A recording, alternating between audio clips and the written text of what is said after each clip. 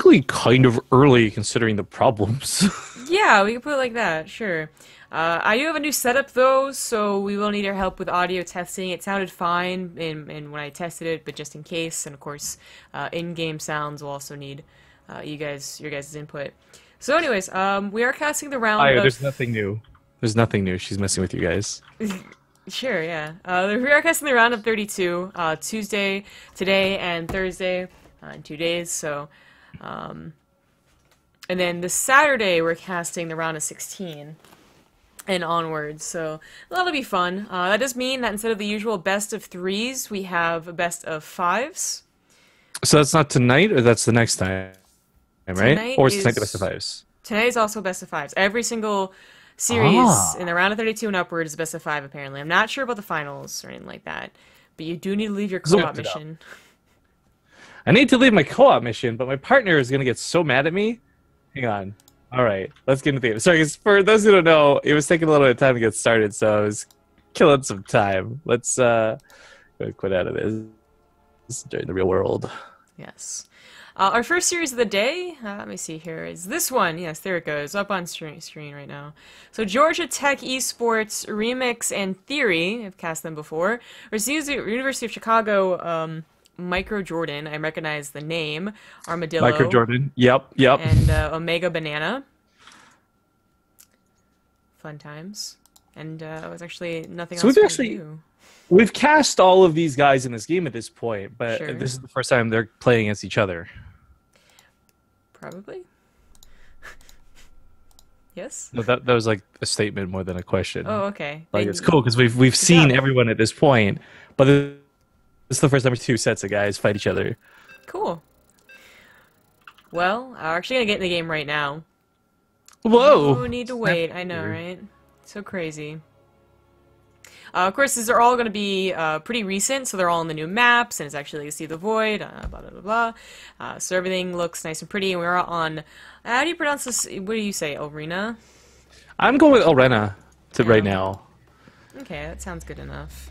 Uh, but like I said, the audio might be messed up, guys. I mean, it might be blaring in your ears right now, and I apologize. But uh, let me know, and I'll change it. So hopefully everything's okay. Yeah, and I'll um, just get into it. Unfortunately, for those who might just be tuning in, over the last specifically not even 24 hours, I guess it's barely been 24 hours, Zomgrab and I have been having hiccups. Uh, it started last night with our TVT North American qualifiers, and for whatever reason, things have just been going poorly since. Yeah. So definitely looking for feedback in chat to make sure nothing is too crazy for you guys. Yep. But all right, uh, here we go. In the bottom left, as the blue Terran, it is oh, I've already forgotten. Armadillo and Omega Banana. Haha. It kind of looks like Omega. Omega. Ah! Arma Omega. Well, in the top left, we've actually got the combination, the Archon Protoss duo of Theory and Rix. Of course, uh, Theory Remix representing Georgia Tech, and it's uh, Armadillo and Omega Banana representing the University of Chicago. Team Micro Jordan. There you go. Alright, so I, I do recall Theory and Remix quite a bit. I don't know why. Maybe there's their name um, pops in my head or the Protoss. I'm not sure, but uh, I honestly, it's been how long has it been since we cast the CSL? Not like too long of a break, but honestly, because we only do this for about an hour every uh, Tuesday and Thursday, it's not like we have like a, a lot of content to memorize. So I've kind of forgotten. It's like It's two, been three weeks. about two two and a half weeks or so. Because yeah, we didn't do it the week leading before BlizzCon. Uh, I don't believe, or maybe we did. Either way, No. uh, the reason Theory and Remix probably stick in your mind is because we talked about they used to be some pro players. Uh, not exactly folks who ever made you know top eight of BlizzCon or anything like that, but Theory and Remix were competitors way before we even heard of the CSL. So uh, whether it was Zotac Cups back back in the day, or you've probably seen Theory and Remix somewhere along the way. Yeah. So that way, so, oh wait a minute, we have to talk about this. Enough like chit chat, Oh. I suppose. It Whoa, is a whoa, whoa. one base ghost build. Okay. I just want to comment. There, there are people who do this. Like Ruff has done versions of this. I kind of feel like the close air spawns makes this a little bit viable. It's is it a good strat strategy? No, we're pros doing it all the time, but it's one of those things that can and catch its guard, and that's kind of what I think this is intended to do. Just get like a quick win in that first game. That Reaper almost died. Uh, no Reaper- reason for that to happen. Yeah, actually, my question is there is a reason for it to happen. Where is the mothership core? Skipping it to go faster for that Stargate, it does have a little bit of gas, so you can't put the Stargate down nearly as fast. In this one instance of StarCraft 2, this fast Stargate is going to be great not for offense but for defense because the Oracle will be able to cast Revelation on those personally cloaked ghosts. Personal cloaking, researching as we speak. Yeah.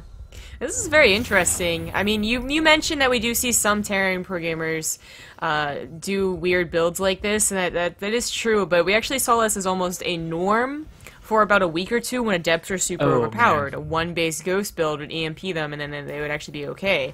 But that that became unnecessary really quickly. I mean, the adepts were nerfed. Uh, people figured it out. And now, uh, through all the casting we've done, it really has become just like almost three base versus three base. To be honest, like Oh, that's uh, cool. I forgot about this. Yeah, Ghosts have that sniper ability can put out an Adepts. Unfortunately, adepts can't use it attack though. I feel like their graphic, uh, their model got updated. They look different. Uh, this would be the collector's edition one. Oh, okay. I was gonna say it definitely looks different. Yeah, I have a collector's edition. I have two collector's I- edition, and I haven't Twitter on with any of the skins. I, I'm fairly certain it's collector's edition one because they look a little bit more like purifiers than they do regular Adepts. I could be wrong though. Hmm. Uh, Ghosts are gonna get a couple of shots. off. If they actually want to stop and shoot the Oracle, it'd be great. It can't. Or oh, cloaking's EMP, not done. That's why. like Ooh, EMP, yeah, to keep the Oracle from attacking. I think that's something a lot of people are going to forget, though, because it's such a, mm, I don't know, non sequitur to think about. Either way, second, uh, first ghost dies, so second ghost still going to kill some probes here. Third one on the way. That mothership core could also be EMP here, but def EMP the Oracle before it can cast Revelation. If a Revelation gets off, this ghost is, yep, there we go, going to be revealed. Second ghost, well, actually, this is the third ghost comes in, though.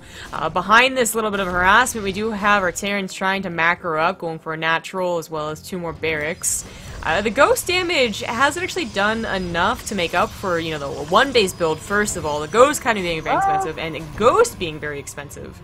I mean, it, it- it's looking good so far, just based on the fact that you know he's going to kill another four or five pro Oracle really lets anything happen. Because not forget, even though the chin might be out from the Oracle, none of that's going to be able to shoot an overcharge. Maybe goes to the natural base, killing a couple probes here. It does only take two shots to kill a probe, thanks to that bonus damage.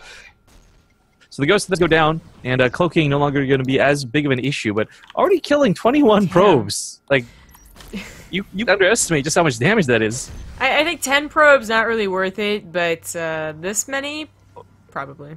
Yeah, and let's not forget a big part of getting this many kills off the back end of this being a one-base build. And not be vulnerable at home. There are turrets up, but there's going to be things like the SCVs and the Nashville that will probably die. Oh no. Uh, a lot of SCs are dying actually. Um, these oracles really aren't being contested. Now they have three barracks production now, but you know two tech labs, only the reactor just finishing now. They really didn't have that much production. And these oracles, they're returning the damage. Yeah, and just kind of that question of like, where's the EMP, right? Yeah. Uh, well, now that the action has calmed down a little, I do want to um, just bring up all the points you're making in chat. So, like I said, thanks for you know telling us the audio issues. Oh my god, a fleet beacon, what the hell? Uh, but thanks for pointing out the audio issues. But the one that you guys really are talking about, where Rifkin's mic is kind of cutting in and out, it's not his mic. His mic is fabulous. Um, and it's not something I can actually adjust in OBS as far as I know. It is something that happens to me all the time as his co-caster that usually I only have to deal with, and I just kind of fill in the blanks. so but I'm not sure what is that because yeah, it, it, it tends to be fine to stream when I'm the one streaming. yeah. Um, so obviously this is an issue now because you're hearing what I'm hearing, and I just I honestly don't know how to fix fix it. Uh, it's it should not be an internet problem. Uh, but You go ahead and just solo cast this for. I'm gonna I'm gonna mute myself so I don't blow everyone's ears out. I'm gonna just go plug and unplug a bunch of stuff and see if that helps. It probably won't, but it's worth trying. all right, that makes that makes sense. If any ideas, I mean, sure we'll take them, but um, this is usually not an issue uh, for anyone else besides me. And honestly, I've been like kind of lucky in the the last CSL cast. I've been streaming this for the last like four or five times, Rifkin a little bit of a break when it comes to observing and whatnot, and um, it hadn't been an issue. So just today's unlucky, I suppose.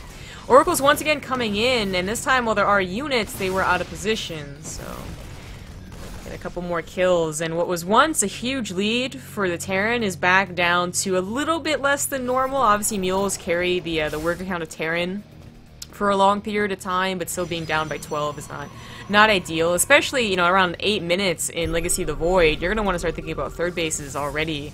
Uh, in a normal game, uh, from what we've seen, like a third base for Protoss would already be uh, hopefully on its way, actually. But this has not been a very normal game. Ghost Academy does a lot of damage. Oracles return a lot of damage. Fleet Beacon comes out. We obviously have Tempests already popping out. One's already out.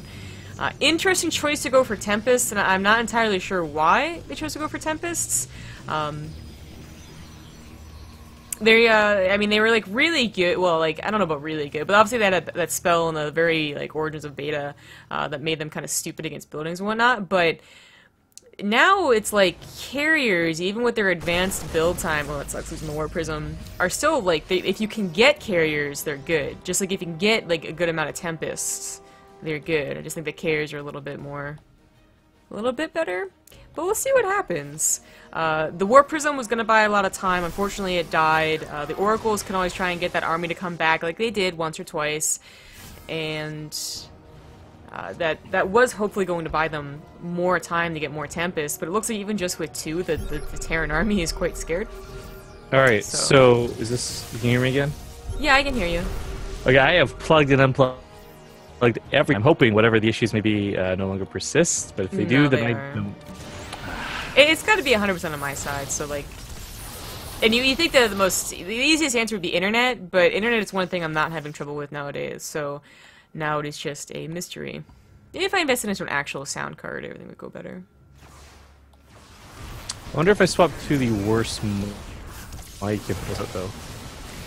Uh, well, we do have a bit of an engagement going on. Of course, these units have been stimmed almost to death, just running ring around the rosy on the one side of the map we never see used, to be honest, was used here. But it looks like the Protoss just might have overwhelming numbers. The Tempest, while they're not very high in numbers, they force out Vikings, which obviously are not helping the ground army. And honestly, uh, Vikings just, uh, sometimes they look very terrible. But this has been a very odd game, and it looks like the Protoss are going to be the ones to take it. This is a best of five. Sorry about that. Oh no. Oh no, it's not already a best of... Uh... There we go. There we go. So yes, it is a five. Um, I suppose some best of threes you're all probably used to seeing when we cast this time. And it is going in favor so far of the Protoss, who are up about, yeah, twice the supply. Still no third on the way, but that doesn't seem to be a problem. Uh, unfortunately, Terran really not having anything that they're, you know, they're waiting on. They don't have a nice upgrade that's going to you know, skyrocket them to a victory here. Plus one armor might finish, sure, but that's not going to help the overwhelming numbers. Well, that count doesn't help either. Depth run through everything. GG. And alright, so our Protoss team, Theory and Remix, will be taking the first game in a best of five. Looks like the next map, uh...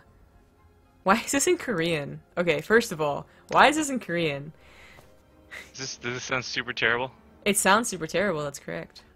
Uh, I mean, I kind of feel like unless unless I use a, like, it, unless this one's game two, I don't know what to do, man. Like, I can't contribute if I can't talk, so I don't know what to do. Yeah, it seems like it's breaking out again too.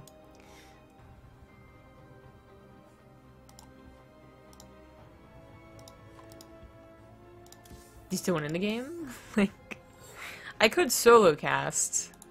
Um, obviously not ideal.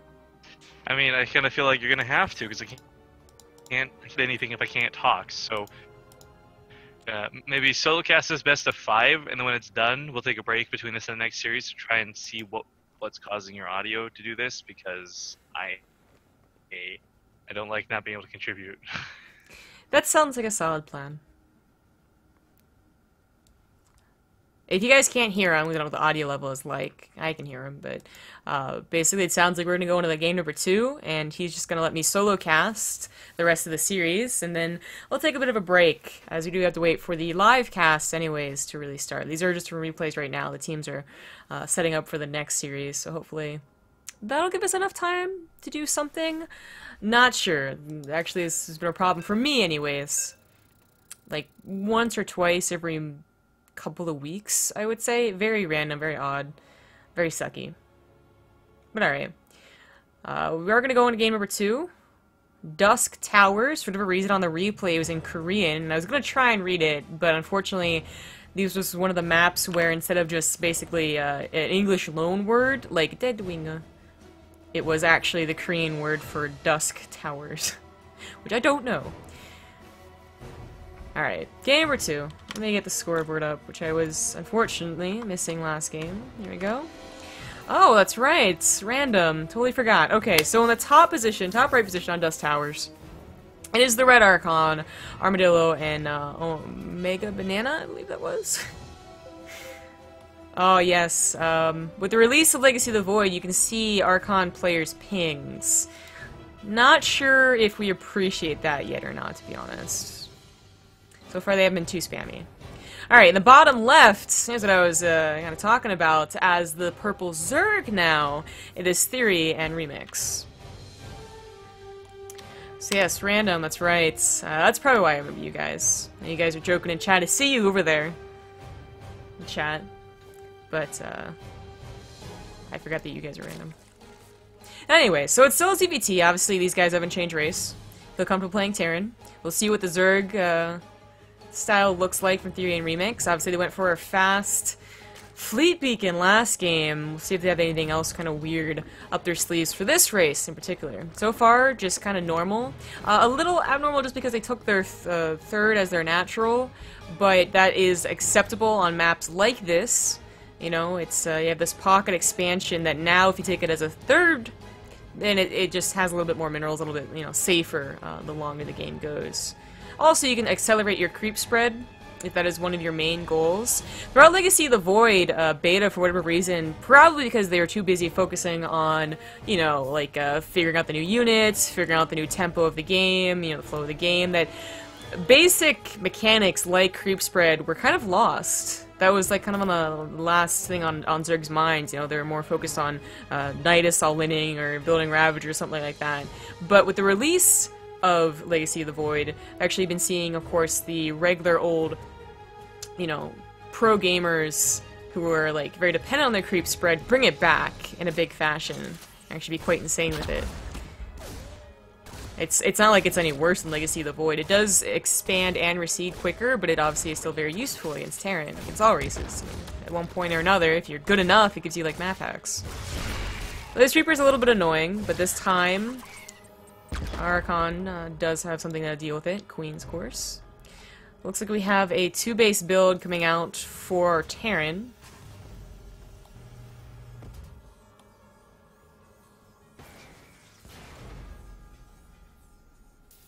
Camera freezes too? I didn't even actually notice. Okay. Sorry, a little distracted. Uh, two Reapers now. Still not really enough to deal with the Queen unless the micro is, you know, is, is off point and uh, no lings are made, basically. And then eventually it could tango with the Queen. But it really should not go down. If this Queen goes down, it was a big mess up from our Zerg. 12 lings are actually on the way as well as that speed about to finish up, so these Reapers are running out of time to do anything else. They really should just go for... They should probably just leave, and then, uh, you know, a little bit later go in for a scout one at a time, just suicide them. Try and see if there's a roach one on the way or something like that. Speaking of scouting, this Overlord just got in and out, no problem. there's, there's been no Marines. What is it seeing here?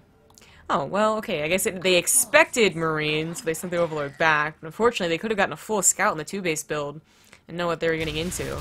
But they do have a lot of lings floating across the map, so maybe not so worried about defending. Rather just uh, you know, trying to get a good attack in. Tries to get the Hellions. We'll get one Hellion, both Hellions, and all of the Reapers too. Not bad, considering they saved at least half of them. Not the lings.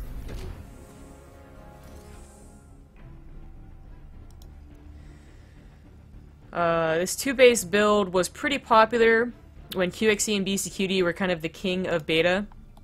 This was almost uh, their go-to, but they usually um, had tank drops accompany it with uh, with it too. Uh, tank drops have been kind of weird. Besides being nerfed recently, you know, the last month or whatever, they also just had uh, periods of being good versus bad.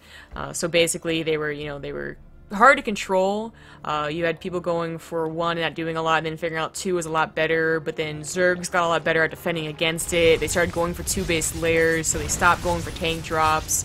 Um, just really depended on how people were getting better and better at the actual game as a whole. Uh, and now they're kind of in a, a position where it's like sometimes you'll go for a tank drop, but not always, obviously. But if you do go for the tank drops you manage to save them, they can be excellent versus a Nidus all-in, which is exactly what's happening, and they can also just be excellent for a follow-up two-base push. Um, that is actually really strong when BCQD and uh, QXU are doing it. I mean, as individuals and as an Archon, because they're also quite a strong Archon.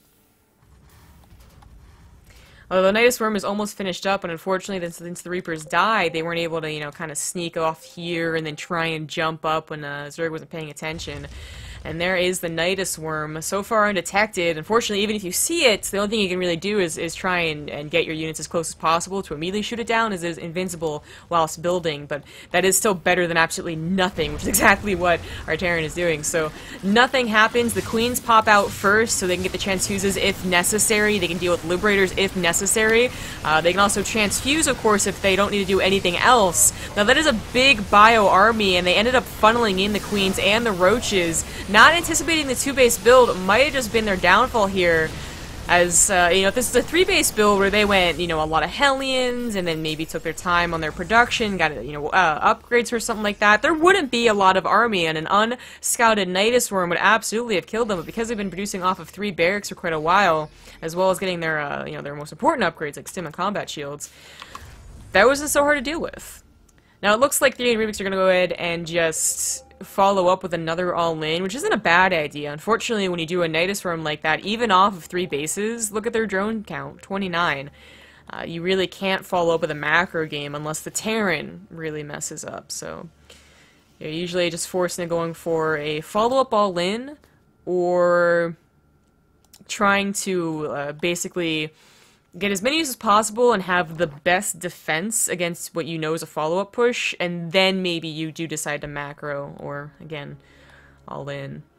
The point is, they first have to get these units before trying to get that drone count up high. So besides attacking, which they are free to do basically with two medevacs, I mean this is this is a free push, or it should be if they're good on their pickup micro.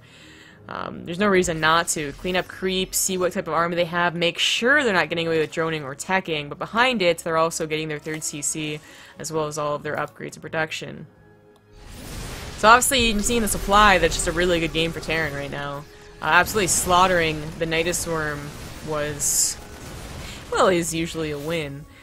Uh, Stim, uh, to get away, there you go, not gonna get with quite everything, but just enough. And now those two medevacs are free to float around, and go into the main, into the natural, while the macro Archon mode player is, you know, just macroing at home.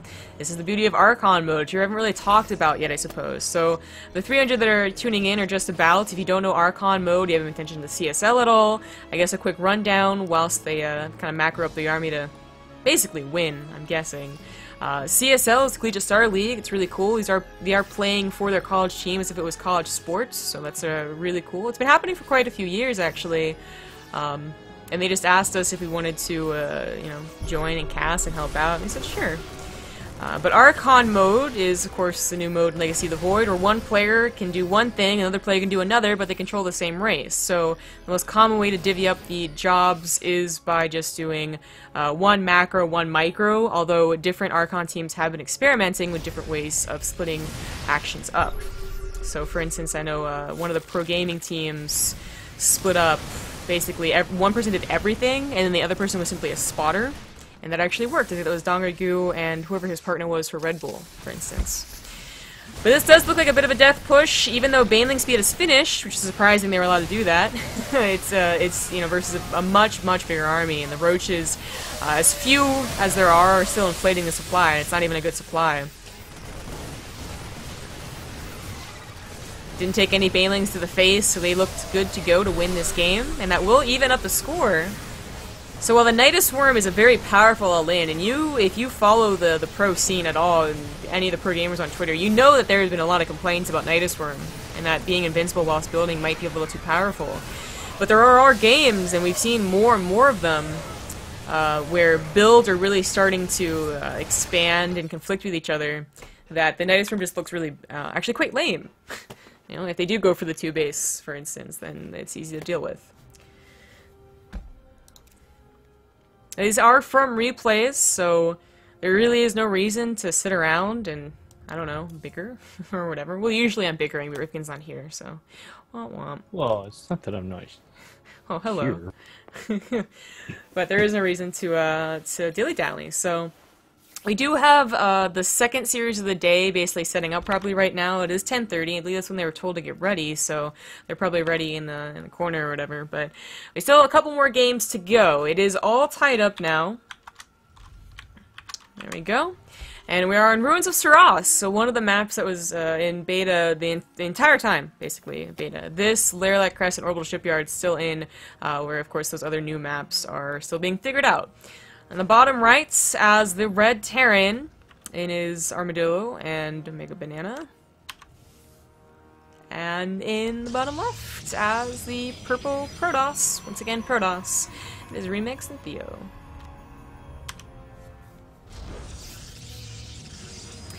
Okay, so... Theory.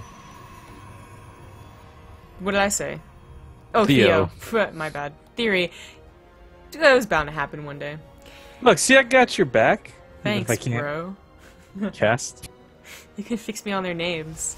Yeah, and I think, yeah, with replays, you can't even see who's in the game, so I can't even cheat that way by showing the F11 panel. Oh well. Actually, while the game is still heating up, oh, I forgot this pauses the game. Be. Just wanted to change my drag. There you go. Okay. Don't know why that happened. I know we have, uh, of course, I believe she said logic in, in chat, so I don't know what happened to chat, but alright, I trust that uh, that was on purpose. Okay, so back to little PVT. This is, of course, the race that our uh, purple team won with. Uh, going for a Nidus Storm with Zerg is not a bad idea once again. It just didn't work out specifically versus what uh, Terran was doing. Sometimes happens. We can go back to what you, what you won with, and that's cool. Now, the question is, does our red team go for some wonky one-base build again? Looks like not. Second command center is on the high ground, so they are playing pretty conservative. Um, the CSL is a little interesting and kind of give like a brief overview in that last series at the end of it. But um, besides being like an awesome like initiative, you know, one day esports, mainstream, whatever, whatever, and actually people will pay attention to their their college back, you know, 10 years ago, fighting in StarCraft 3, something like that. As awesome as that is, um, right now, watching these uh, these teams play Archon mode, to be honest, it's a little funky.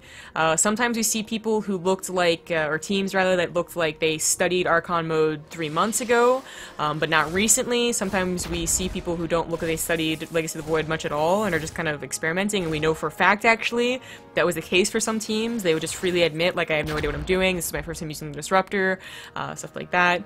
Uh, these two teams, I remember, like, are, are pretty, um, uh, what's a competent? It sounds uh, demeaning. Uh, they're pretty well versed. There you go, uh, in Legacy of the Void. But you know that Ghost build, for instance, was something that felt like I was watching Legacy of the Void three, four months ago instead of you know what it is now, which seems to be expanding further and further into uh, the faster you get to three bases, the better uh, off you are. Terran is in a little bit of a rough spot actually about that third base. Uh, Zerg obviously always wanted to go for a third base pretty quickly. Uh, Protoss um, now uh, kind of a third race, third base race too. Terrans kind of get like they they can't really get away with the third base super quick, but they would like to, and they still try. But sometimes you see crazy fast thirds from Protoss, and that just feels and looks weird as someone who's been in the heart of the swarm for a very long time. But anyways, um, so playing as conservative as they are is a little odd too. Uh, you know, they got the ghost build, and then they still put their command center on top. This is back when adepts were pretty powerful. You just had to have a wall off, and you had to play super defensive. Uh, doesn't really, not, not really the case anymore, although it is definitely safe. So it does uh, land the command center. Looks like they have missile turrets, a bit blind, or did they? Oh, they saw the Stargate back here. There we go. Okay, so what has Protoss seen? Protoss has seen nothing. They actually did not know where the opponent was, so that's a problem. That's why the Oracle's flying around like that. I thought it was just taking a, a wide turn around to try and get by sneakily, but oddly enough, there's a SCV over here, so this would be the least sneaky path they could have done it. So uh, missile turret's obviously going to be a good idea. Um, definitely necessary so they don't have to be pulled back every single time an Oracle uh, delves into the mineral line, which happened in the first game, by the way. They were they pulled back, I think, once at least, and I, I think twice, um, which did not help that game. You know, they end up losing for a variety of reasons, but that certainly didn't help, you know, off their timings and whatnot. But the Oracle isn't useless just because the missile turret is down in both mineral lines. Um, besides being able to pick off SCV's building and just being generally annoying, I mean, two Oracles technically could try and take down a supply depot. Uh, you now have those stasis traps, which can be very useful. Uh, they buy a lot of time. They provide a little bit of scouting. Uh, Oracles, obviously, with Revelations, still provide the same scouting they did in Heart of the Swarm. And if your opponents were going for a ghost build, they would still be useful. Am I coming to teach tomorrow at NYU? Yes, actually. Uh, if uh, again, if y'all don't know, I do teach. This is uh, some of my last week's teaching at NYU, like the school, NYU Magnet School to be more specific. Uh, so I, I should have a bit more investment into the CSL, especially since there are, uh, I think, two or three NYU teams apparently. But uh, I actually don't feel much affiliation with NYU. I basically take a 12-hour trip back and forth teach a three hour class, which is awesome, but the traveling sucks, and then I'm out of New York in a flash. So don't even get to experience any New York things. But I've been there enough not to have anyone try and make me go sightseeing. I've seen most of everything it has to give. Alright, so the Reaper hasn't been doing much. Didn't really get anything done besides that, you know, pretty crucial scouts. I shouldn't say it hasn't done anything. I haven't seen much beyond that. It is obviously a, a macro game, uh, this is looking a lot more like we see in recent Legacy of the Void games, um, except that the Protoss has not gone for that third base yet. So now they're going for it, and this is still like a quicker third base than you would usually be allowed in like Heart of the Swarm, where they're still trying to get Colossus, and it's still quite scary to move out with a small army. Legacy of the Void, basically, the faster you can get your third, the better off you are, as you can get that big burst of production. Um, many games we see now with Protoss, basically, uh, is a fast third base, and then like slap down six to eight gateways really quickly and it's a, it's a big burst. It was a build that existed in Heart of the Swarm, it was just really hard to pull off. And like, I think one of the most infamous ones was PartinG slapped Flash with it in Pro League, but now it's a norm in Legacy of the Void to get that high uh, rate of production, because Adepts are usually your bread and butter, and you can make a lot of them. Uh, looks like Terran just about ready to move out. Oh, whoops, I thought there was medevacs. There they are. There they are. So, yeah. Usually the first two medevacs a good enough signal to move out, but you can wait for a bigger army. Uh, sometimes by doing this, you can kind of catch the Protoss off guard because they're expecting one timing and are hit by another uh, stronger timing, and or maybe playing a little too defensively, which might have been the case here. Uh, like I said, the third base wasn't as quick as it could have been in general and in this game specifically, as our Terran have really not moved out at all. Now they're finally moving out with a, very large army, yeah, but obviously one that could have attacked sooner with um, simply two medevacs. Nice snipe and then observer. Unfortunately, they are still, you know, have Revelation on them, so still sees where they are, still sees them not moving out. Uh, this obviously is a big map in general, but they are, you know, horizontal spawns, so Protoss does have to be worried. You know, once the Terran moves out, they're probably going to be at your base pretty darn quick. Liberators are a good addition. Uh, for the most part, PvT looks similar for Terran. Protoss, unfortunately, Legacy of the Void really had to adapt they had to do a lot of uh, fixing and, and rebuilding and whatnot. But Terran, you know, usually can still get away with a good old bio ball. But if you add Liberators, then you're upping your composition quite a bit. And actually, they can be quite difficult to deal with for the Protoss, especially when they get into those numbers of 6 or 8 in the late game. Mid game, you can kind of snipe them off, especially if you went for a blink build. But uh, even in the mid game, if they get into a nice choke on uh, some different maps, they are quite difficult to deal with. Uh, Ruins of Seras, luckily, not so much chokes, but obviously four Liberators would still cover it.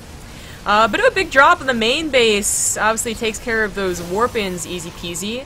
We do have our Protoss going for Storm, which is um, becoming more and more the norm, too, by the way. Going for Adepts into Storm and like Charged Archon.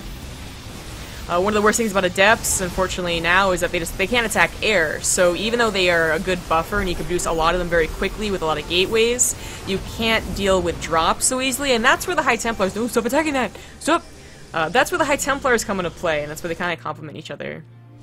Um, but again, unfortunately, uh, Protoss still seems to be having some difficulty perfecting this build and this composition.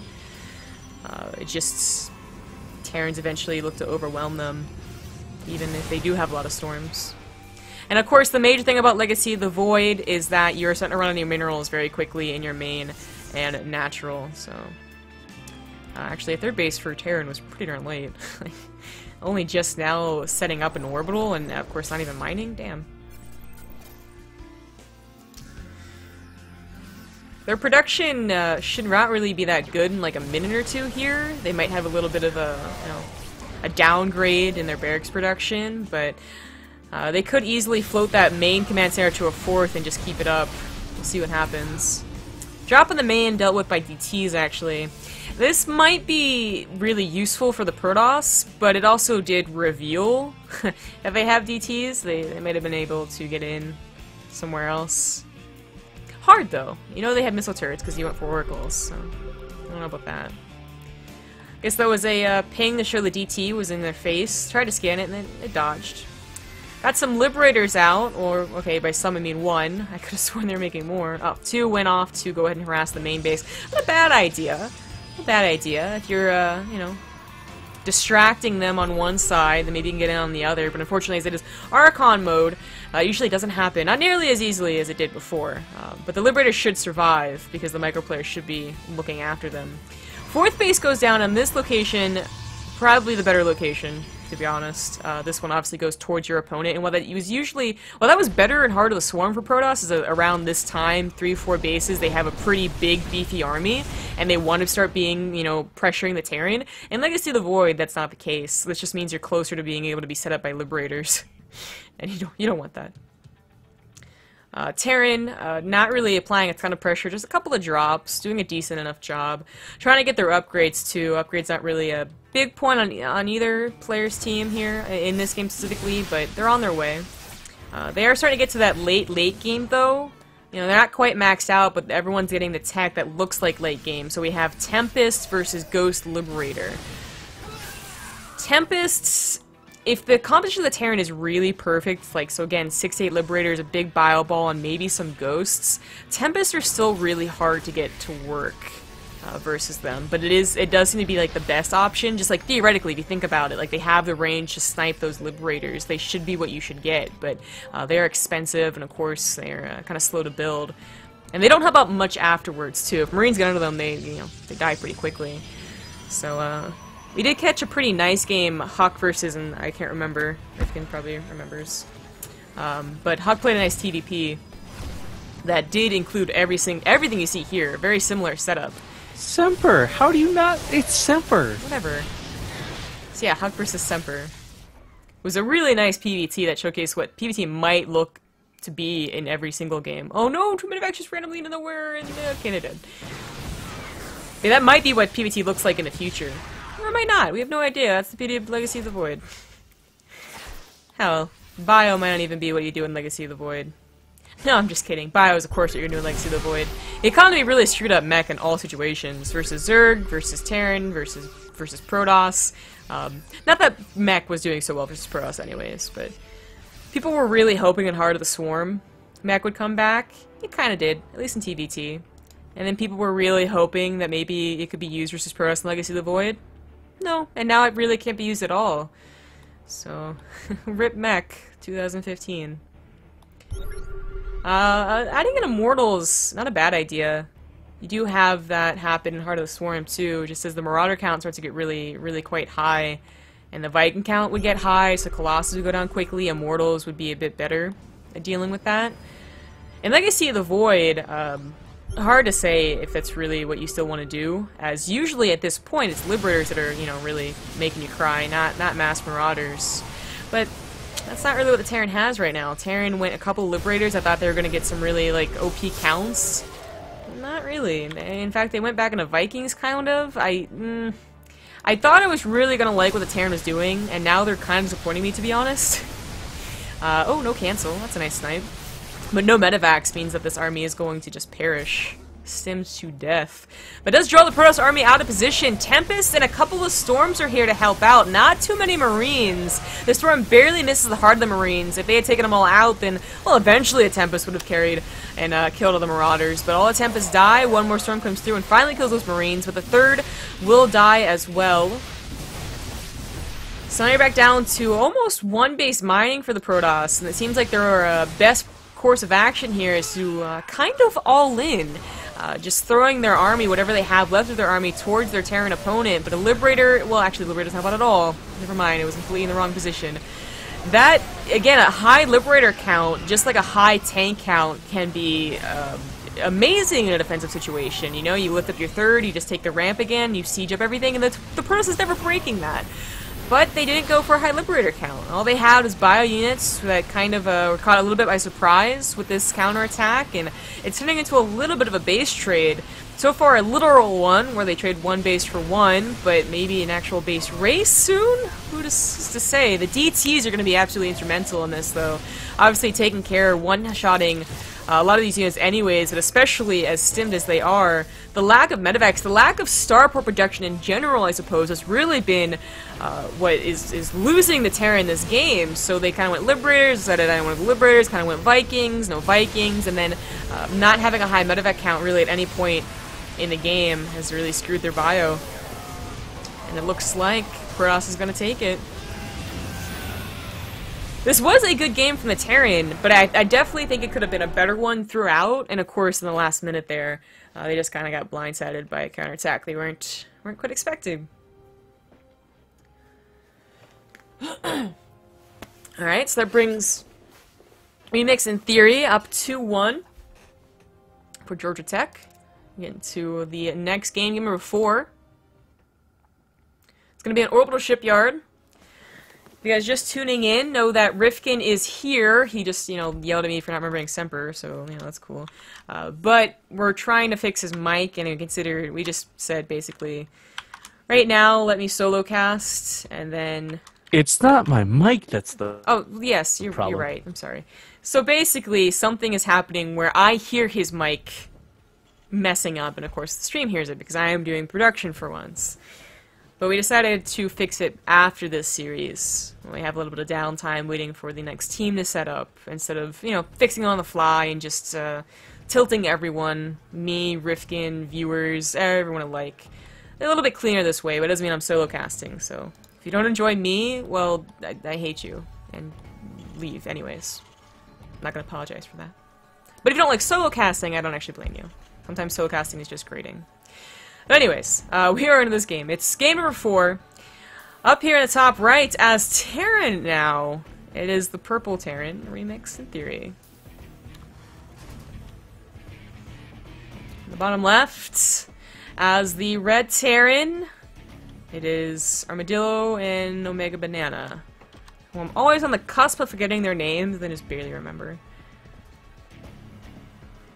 Okay, so a TVT on Orbital Shipyard, one of the most uh, popular builds you've been seeing on this map in this matchup specifically is a two Reaper build. So you either try and hide the second Reaper, uh, second Rax rather, sneakily or not sneakily, or you just let them see it and you just try to do it anyways. You can also proxy the second or both Raxes and go for Reapers. Basically, Reapers are good in this map, okay? It's not, you didn't get the gist, there it is. Uh, why? Because there's a ton of space to jump up. So... It can be very effective. It can win games just straight up if it's not handled uh, basically perfectly initially and then, you know, uh, handled well throughout. If that one Reaper gets your entire army killed and sometimes the entire army is one or two Marines, then you're in trouble. That's not the case here. We do have just expand builds. One Reaper expands, pretty popular. Uh, well, actually, in this case, no Reaper for these guys. No units at all for these guys. A little bit worrying, but they do have two Marines coming out now.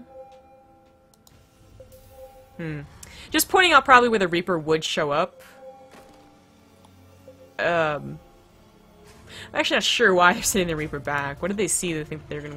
They haven't seen anything, so they, they really don't know. They could be expecting 2-Rax Reaper, or like, oh shit, we forgot that it was a popular build, let's worry about that. Or they could be expecting one Reaper that's just hiding somewhere, and they really don't want to be scouted and trying to intercept it. But there is no Reaper, so their own Reaper is a little bit useless. They do want to get a scout eventually, but the more time they give uh, the Marines to spread out like this, the less chance they have of getting a scout. They won't know if it's a Banshee, a Raven, a Hellion opener, a Medevac opener, or in some cases, more recently, Cyclone openers and Liberator openers.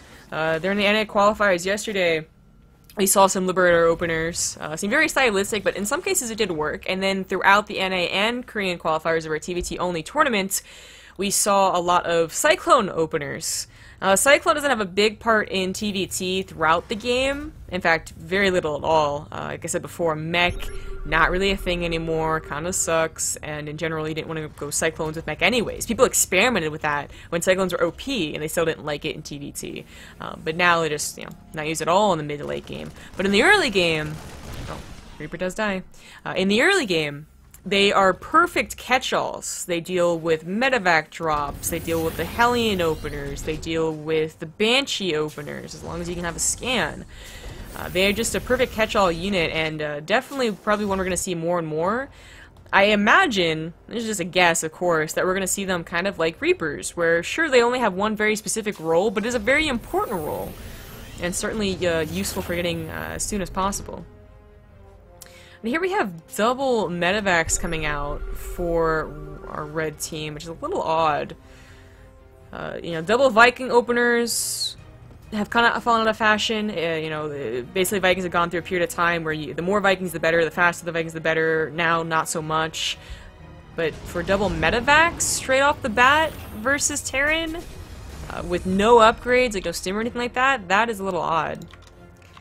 But we'll see what happens. I mean, you see this, uh, you know, the, the fast two medevac drops can be a popular style in TVZ, but with Stim. Uh, and then you just hope they don't have mutas out to, to catch you. Uh, this can happen in uh, versus Protoss, but usually again only with one medevac. And with Terran versus Terran, it's usually a one medevac, you know, and, and a Widow Mine. So we'll see.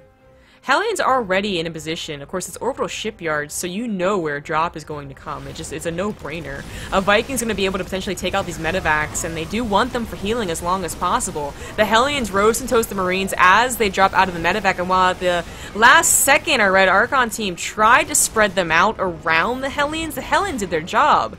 They killed a couple Marines, and they bought time for the rest of the uh, reinforcements to come. And that drop was not very successful at all. Oh, and if he loses the medevac, oh, he loses it too. So just saves four Marines, not worth at all. Um, at the very least, that that drop could have been, you know, questionable in how much damage it could do, but useful in that it was a constant threat if you got him out alive. Then you split up the medevacs, you know, have one person control one and the other person control the other, and just constantly try and harass. And that at least buys you time and scouting, so you can get a faster third base, uh, get faster upgrades like they're trying to do and know that you're safe. Now they could be a little blind. Oddly enough, a Marine just walks right in, but even then, that's not quite the same as having that consistent scouting, consistent pressure, consistent threat that uh, Medevacs being alive would have had. Obviously, getting two Medevacs rather quickly, be uh, you know, right afterwards, but not a lot of units to put in it. For whatever reason, also including Marauders into the mix, not usually what you want in TVT if you know it's going to be Marine, ta Marine tank versus Marine tank. Uh, they might not have known that until recently. They did get the Marine in there to see that barracks were on the way. Maybe they saw the Hellions and limited amount of Marines and thought mech was a possibility.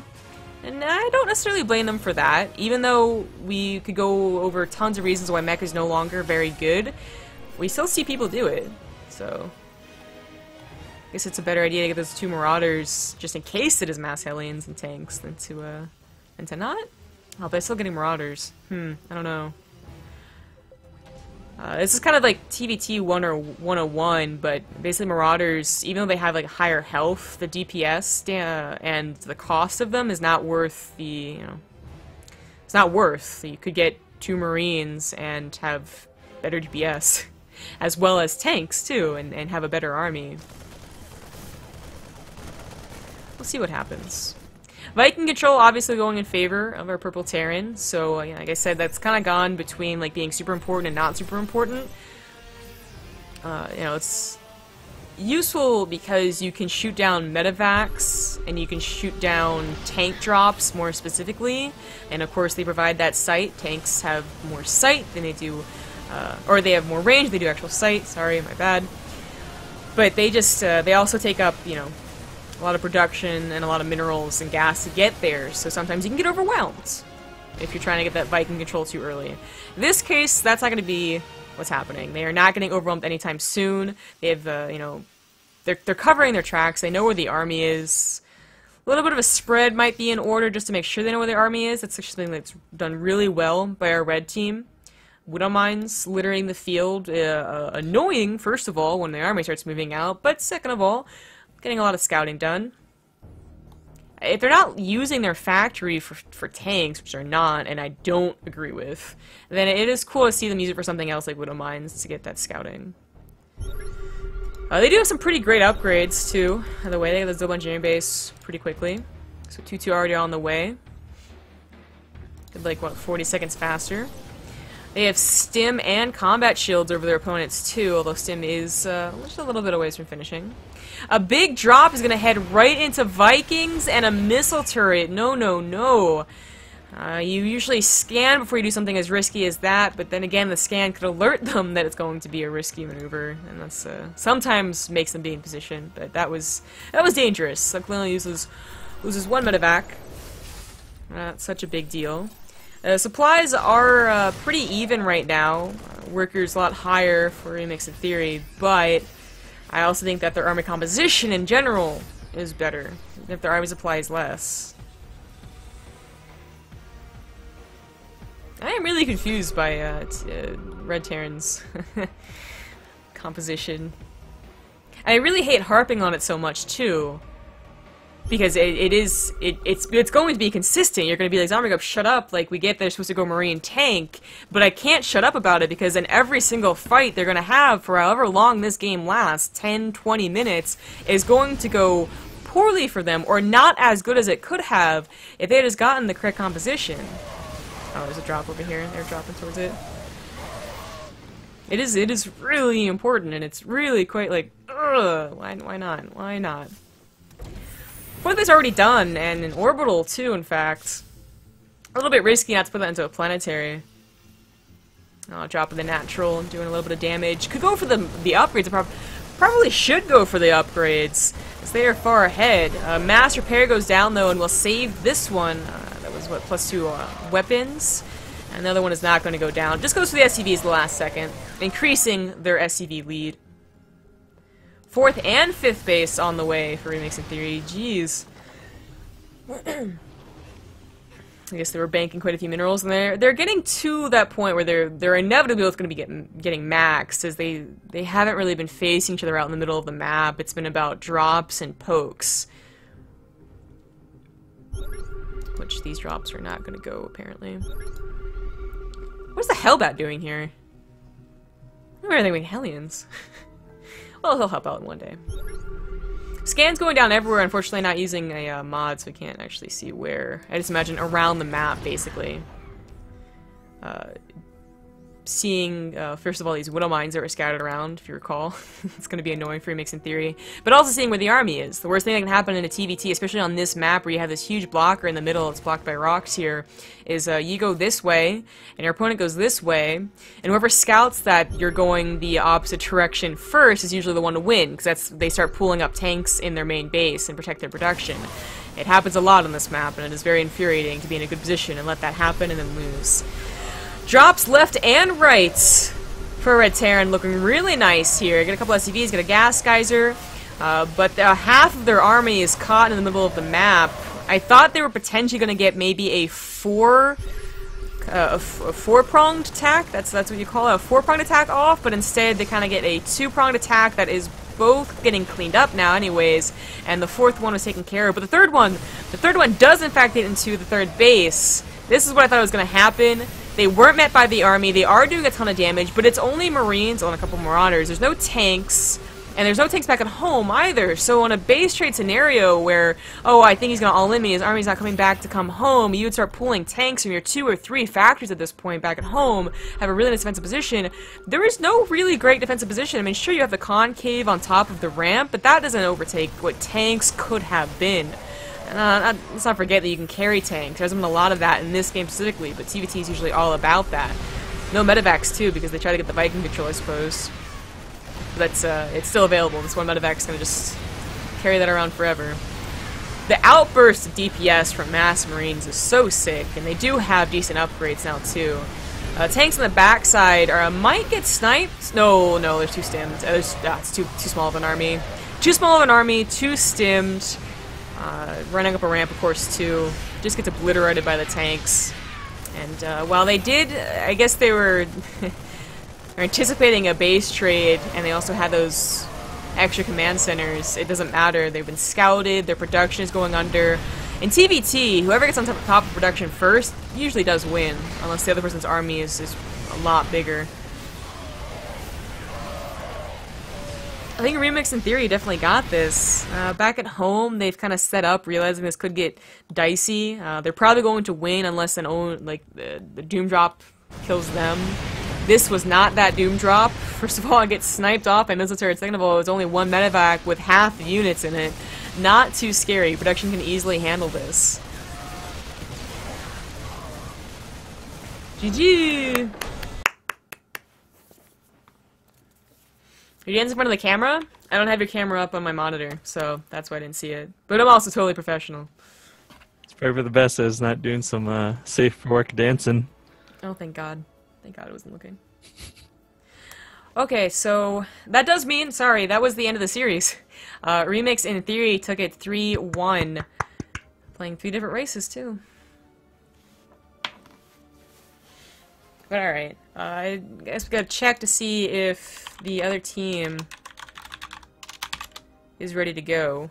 Turn CSL, here we go. And if they are, we'll set up the lobby, but even if they are, we do need to fix, fix this, this issue with, with me, basically. Rifkin's mic keeps on distorting and cutting out for me specifically. It doesn't happen when he streams, even though I hear it, but because you guys hear what I hear now. It's all gone to hell. So what do you think we should do first? Uh, well, the other team seem to be questioning what's going on anyway, so let's fiddle, I guess. Okay. This is like on the fly fiddling, and here's the thing, guys: we really have no idea what is causing this. Um. So as we're talking now, nothing is happening. Maybe something like well, what if I'm talking for a moment like this? Just tell me where it starts cutting out if I just start running my train of thought because I'm playing a phone game while we're waiting to speak, and that's it's not quite the cat okay, you've been playing, right but there. it's oh, some. See, I I'm pretty sure it's it's people are saying it's your internet. I don't think that's the case though. It would make the most sense because they also said that your uh, camera was starting to freeze up too, but my internet is is baller. I'll go yeah, check it. Zombie Grip has like a hundred uploads. Uh, let's see. Um, um, no, couldn't remember the name of the site. Speed test. Well, I ended up remembering it. Thank you. I couldn't remember what's my speed at, guys.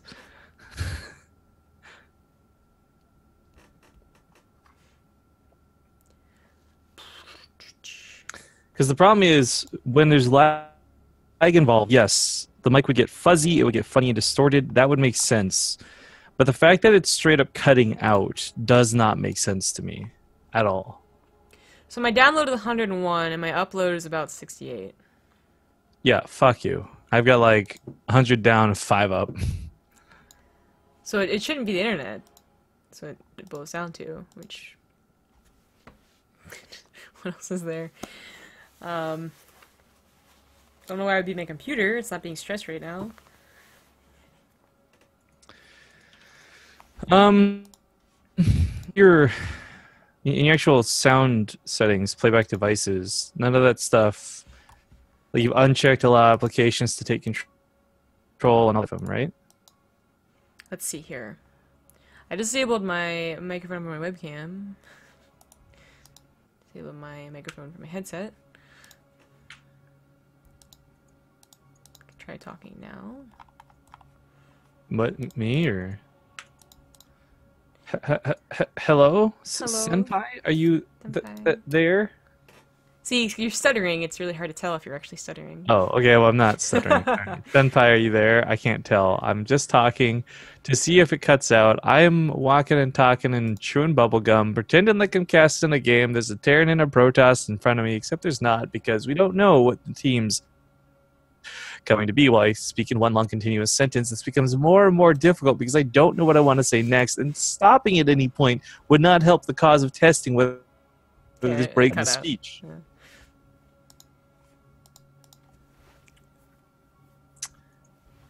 I don't know, man. I do not know. I don't know. I mean, I've been doing this. I've been like recording my mic on my end, and there's no cutting out at all. So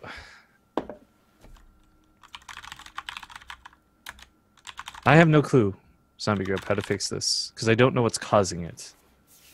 It is very frustrating, and I I I don't know what else to like try. Well, looks like the only answer is for you to solo cast. I guess that's Boy. the only thing I've.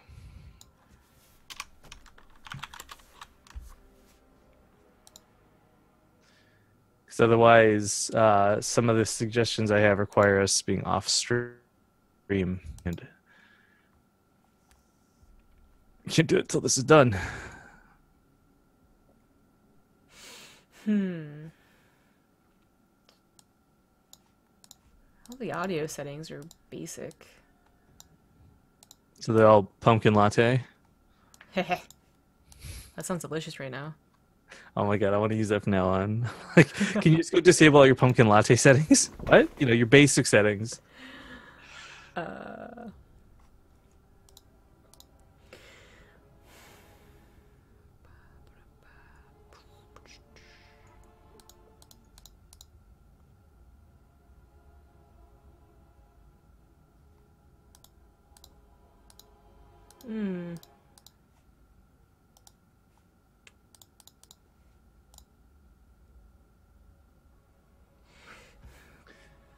Well, we have a couple people online ready to play, but apparently their opponents aren't here.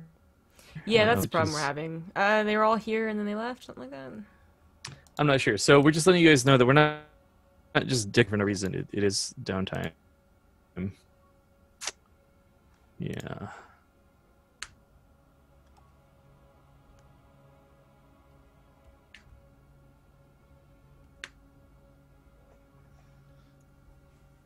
Maybe all messed up, or is that clear still? No. Oh, it's still messed up. I don't know. Let me try just not having video broadcast. Maybe that clears it up. Okay. So if I'm just talking like this, the- my video off. Yeah, it cut like immediately.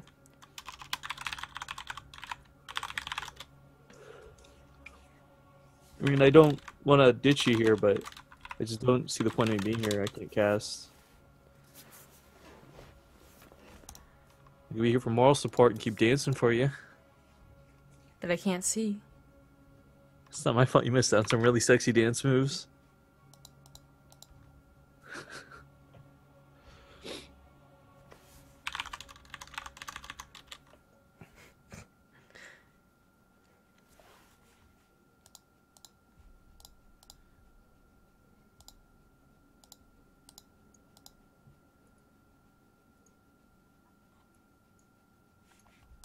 It can't be on Rifkin's side. Damn boy. Like it, it literally is not on my end.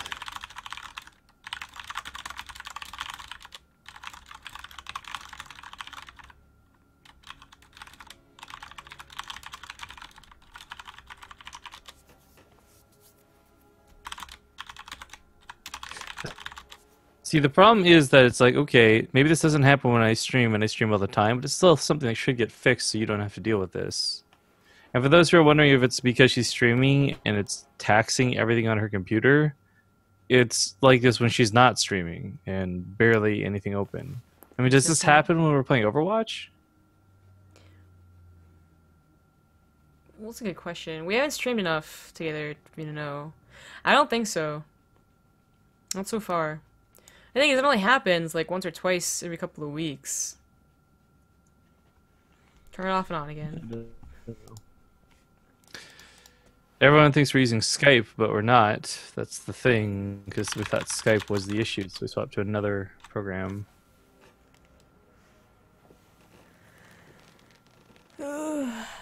Pumpkin Skype, super basic. I'm good at making jokes. Let me see if I can get Fear Dragon come uh, replace me. If not replace me, at least test Mike's, see if his cuts out too. That would be interesting. An interesting experiment is afoot. Potentially. Yeah, Uh, sorry, folks, for for this hiccuping during the CSL. We just kind of assumed it'd be fine because last time we cast CSL, it was all fine. Do you ever use your speed dial What? on your phone? Like the numbers you put in, like hotkeys? No, I don't Yeah. think I even have any assigned. I have like three people I would ever call. There's you, who I can't afford to call because you live in the states. Uh, there's my home number, which I'm at home, so I don't need to worry about that. and there would be oh no, I just realized I need to change that contact number. So only two. I only have two numbers that would speed dial. Yeah, I don't have any either.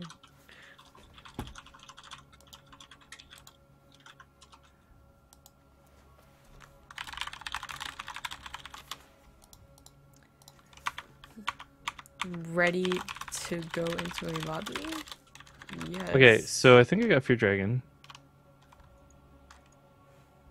That'd be cool. Moving Griffin's face really classes up the place. What? You should have seen my mom, guys. Oh God, no. She had this like plan, man. I don't know why, but she was just like, you know what you should do? Okay, um, Fear Dragon said he'll come. So do you want? I'm just gonna hang up, and you can just cast the best of five with him. Okay. Uh, I'm gonna go talk to Olivia about some stuff, anyways. So, uh, d- dear CSL people, if you can even hear this, thank you for. I didn't do anything tonight. Thank you for enjoying Zombie Ropes cast. Fear Dragon's gonna come take over, and hopefully he won't have these same issues. So Hopefully. you have to go poke him for the Zoom room or something. Bye. Bye. This meeting was ended by the host. I need to be right back anyway, so one second.